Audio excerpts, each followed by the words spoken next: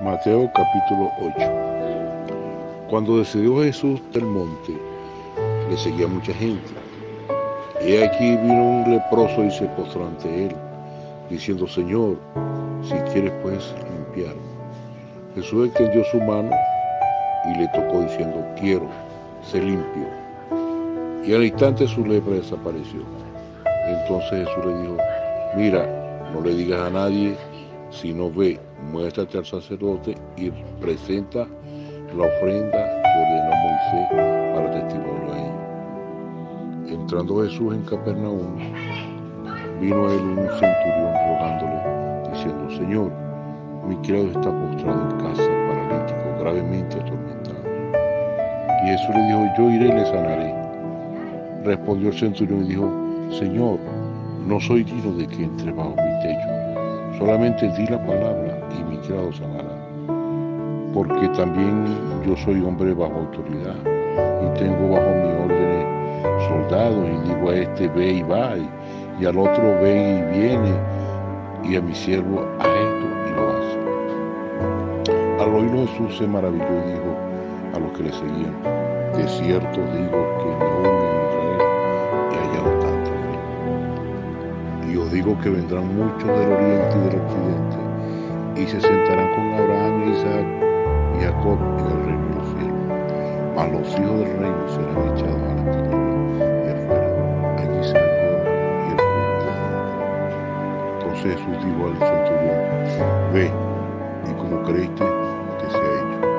Y su criador fue sanado en aquella misma hora. Vino Jesús a casa de Pedro y vio a la suegra de este postrada en cama con fiebre y tocó su mano y la fiebre le dejó y ella se levantó y le servía.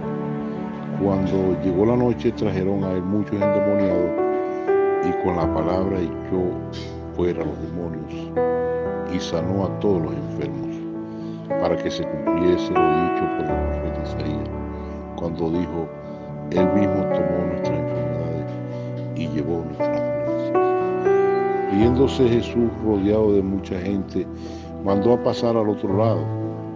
Y vino un escriba y le dijo, Maestro, te seguiré a donde quiera que vaya.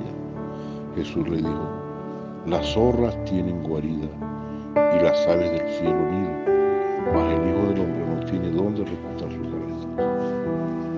Otro de sus discípulos le dijo, Señor, permíteme que vaya primero y entierre a mi Padre. Jesús le dijo, sígueme, deja que los muertos entierren a sus muertos. Y entrando él en la barca, sus discípulos le siguieron. Y aquí que se levantó en el mar una tempestad tan grande que las olas cubrían la barca, pero él dormía. Y vinieron sus discípulos y le despertaron diciendo, Señor, sálvanos que perecemos. Le dijo, ¿por qué teméis, hombre de poca fe? Entonces levantándose reprendió los vientos y el mar y se hizo grande el mar. Y los hombres se maravillaron diciendo, ¿qué hombre es este que aún los vientos y el mar obedecen?